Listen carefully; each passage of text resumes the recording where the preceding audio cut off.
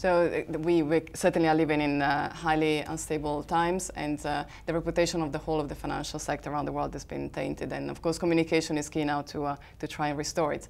Uh, what do you think should uh, leading financial centers and also emerging financial centers do to try to turn this, um, if we want to use a sort of a business expression, if you want to turn a challenge into an opportunity? Well, well I, th I, think one of the things that that all of us who are sort of doing centers, or if you will, is we're we're sort of like the bridge in the middle and should be the bridge in the middle in, in many cases.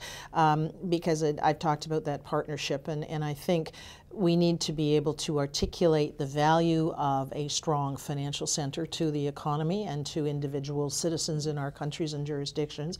Um, secondly, we need to try and be for government and regulators perhaps a little bit like a, not quite an independent broker um, because you know there's many government relations firms and associations that, that do their work, but try to give a bit of a almost an independent voice about because you're hearing from a financial institution, don't regulate this or don't regulate that because mm-hmm. it'll be bad for our company.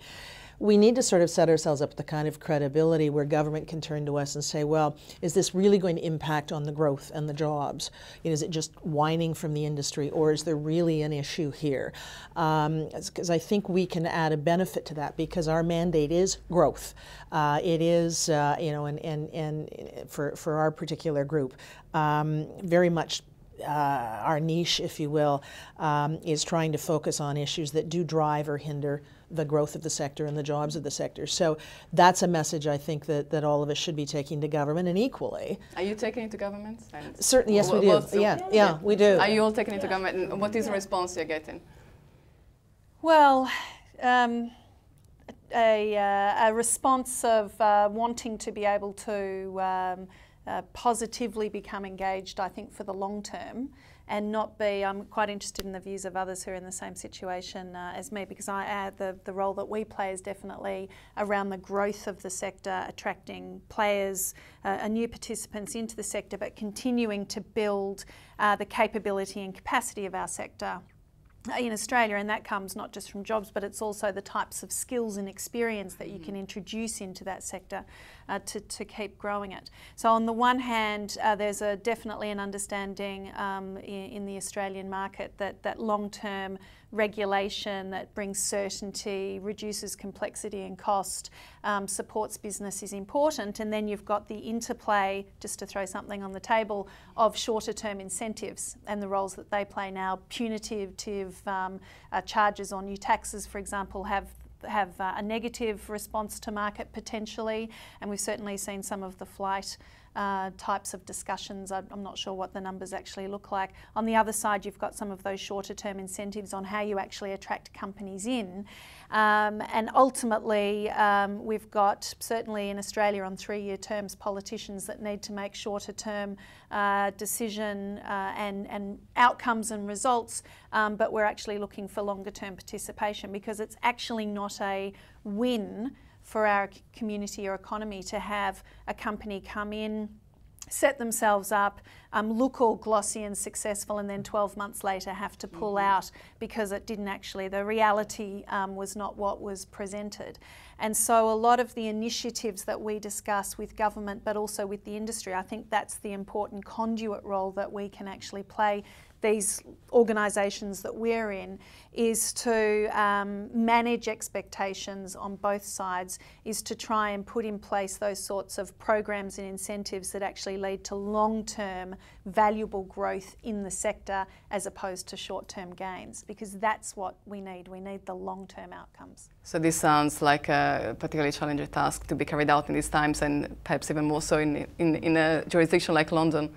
Well, um, uh, one of the challenges, uh, and we all know we face this, is that um, uh, regulators and, and, politicians work to different timescales, mm-hmm. uh, and we we often and we have to recognise that that politicians aren't subject matter experts; they're generalists. They're there to listen to the to the, um, to, to, be the voice of the public, to the will of the public, and if the public um, is seen to be pushing politicians to do more in terms of regulation, then politicians need to respond to that. So we, as an industry, we can say, well, this is terrible. We've, uh, what, what a shame we, that we've ended up with these politicians. Go and get us some more. Um, obviously, the, the correct response is, well, how do we change the context in which politicians operate? So it's entirely for the industry to be saying, if we want to be taken seriously by politicians, then we need to be taken seriously by their voters, their electorate. Um, in the UK, we, we employ over a million people in financial services, and, and two thirds of those are actually outside London. So that means that on every high street, there are people who work in financial services. Mm-hmm. Uh, so those should be our greatest advocates. Those are the people who should be saying, we're not quite sure why there's another round of regulation coming. What, what's it trying to achieve?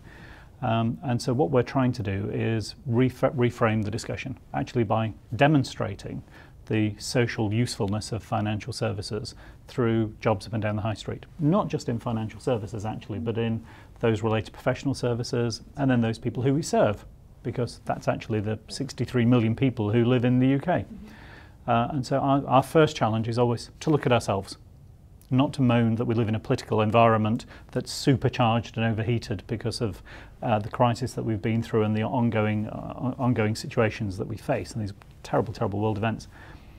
The challenge is for us to, to be more attuned to what our customers need, need from us.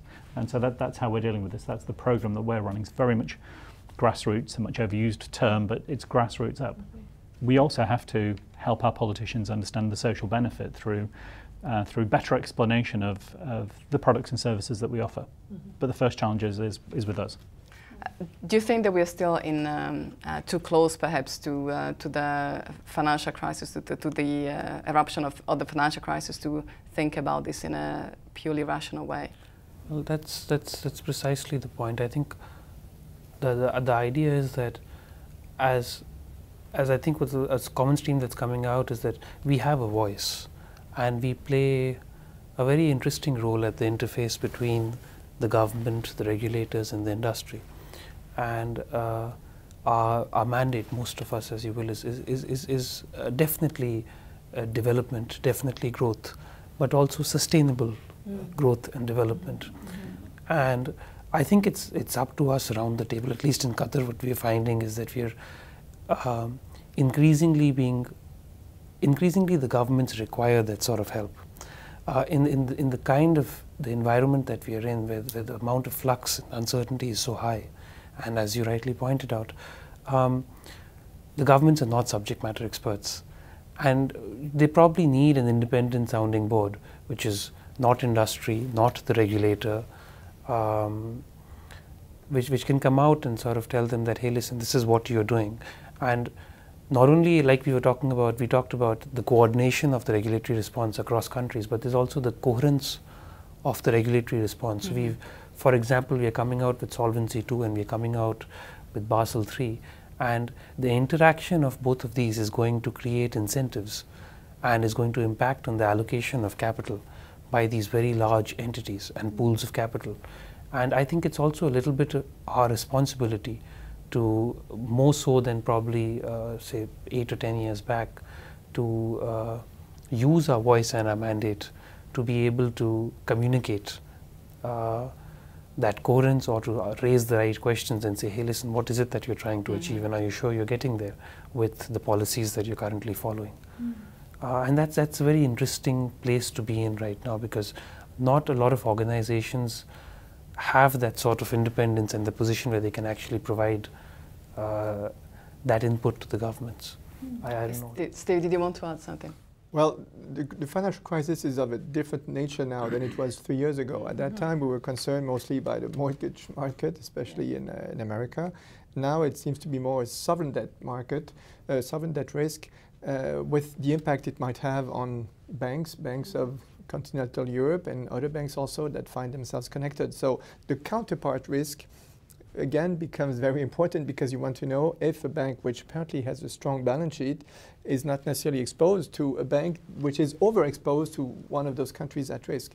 So again, this creates a lot of uncertainty and anger at the population at large because they what do they see? They see the banking industry in three years' time facing different kind of risk and with the possibility of huge bailouts, taxpayer money coming to the as a solution. So it's again an additional element of uh, communication that we must uh, manage is to give some sound, factual, uh, information to, to the people. And at the same time, like uh, Sally mentioned, we, uh, we have this discussion with the regulators, but we also be concerned. The regulation brings some kind of a, could say, a helmet or a protective suit. It's more or less mm a drag depending on the countries.